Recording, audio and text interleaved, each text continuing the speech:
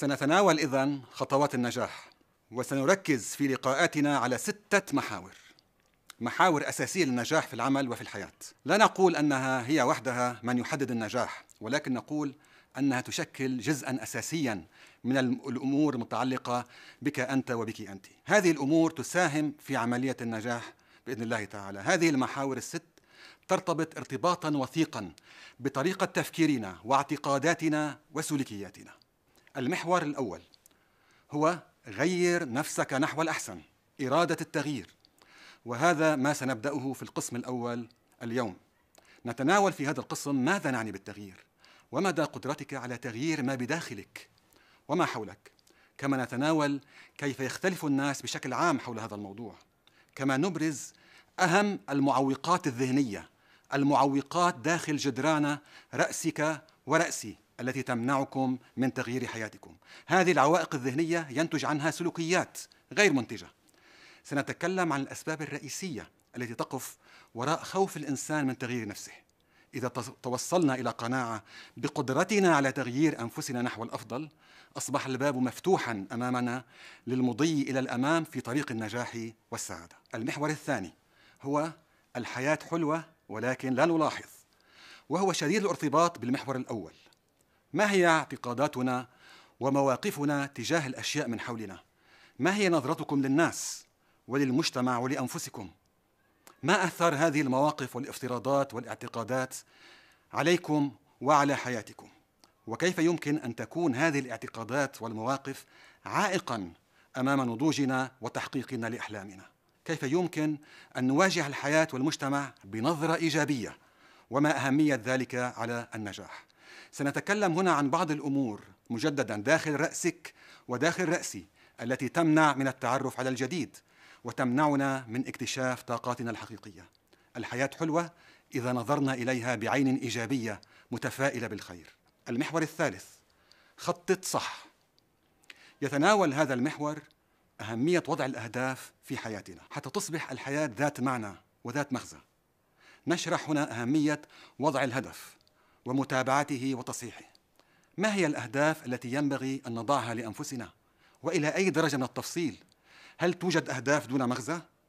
ما علاقة وضع الأهداف بالنجاح في الحياة؟ نتناول أبرز أنواع الأهداف الشخصية التي تخدمكم أنتم اولا ولكنها كذلك تخدم المؤسسات التي تعملون بها وتخدم المجتمع الذي نعيش فيه. نركز هنا على أن عملية النجاح هي تحت سيطرتنا بإذن الله تعالى. وهي بالتالي لا تأتي بطريقة عشوائية بل تتطلب نوعا من التخطيط. المحور الرابع هو لا تنسى الأهم أمام المهم. يتعلق هذا المحور بالتوازن في الحياة. نتكلم هنا عن ناس يتمتعون بعقل وجسد وروح. ما أهمية أن نعيش حياة متوازنة؟ ما هي أبعاد هذا التوازن؟ وهل جميع الناس يجب أن تتوازن حياته بنفس القدر وبنفس الطريقة؟ سنتكلم عن عدة مرتكزات في الحياة. إن النجاح في العمل مثلا على حساب العائلة ليس نجاحا حقيقيا.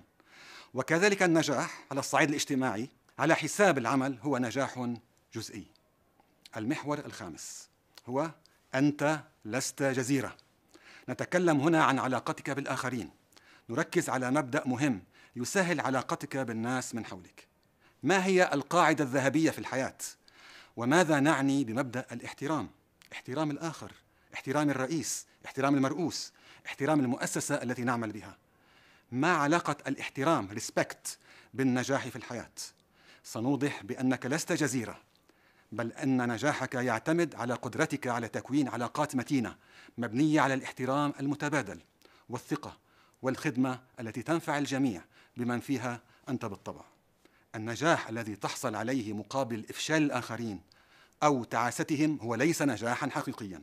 المحور السادس والأخير هو صادق أصحاب الهمم كما يقولون. هو محور يتناول أيضا علاقتك بالآخرين. اعتمادك على نفسك لا يلغي حاجتك للآخرين.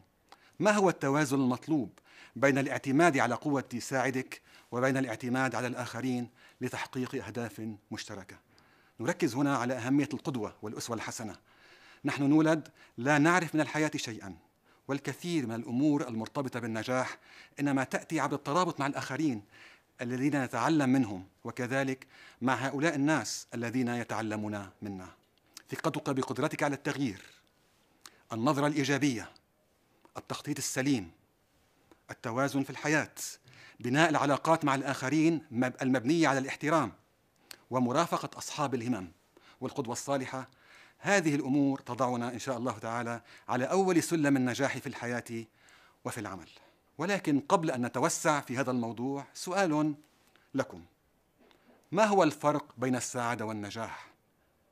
هل كل إنسان ناجح هو بالضرورة إنسان سعيد؟ فلنتفكر